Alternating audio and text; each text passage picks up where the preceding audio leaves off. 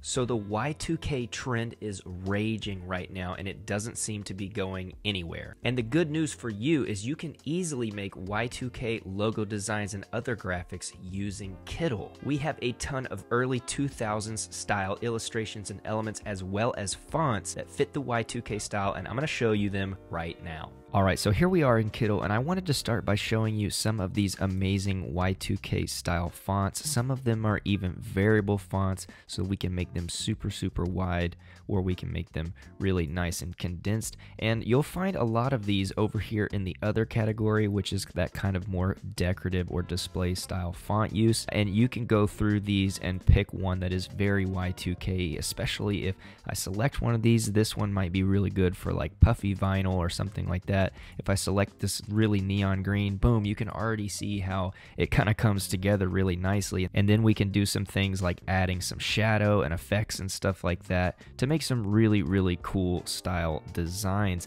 And another really great thing about Kittl is having the Y2K category. So over here in the elements panel, if we hit on abstract here, boom, we have 129 elements so far for the Y2K category, and we're updating these all of the time. We're adding more, and you can just see how easy it is to select some of these and start making your own design. Let's select just a couple of them, and I'm going to show you how easy it is uh, to move uh, and change the colors around. Let's get rid of a couple of these texts. And so here you can see there's the two colors again. Maybe if I want it in that really bright green and I want this in, I want the outer one in the white, you can really start to get some really cool things together. Maybe we want this one uh, in the pink. It's super easy to change these elements uh, to be exactly how you want them. And even if I go here to our home page real quick, you can already see there's some Y2K goodness popping up, but we can just go here to this tag, the Y2K tag,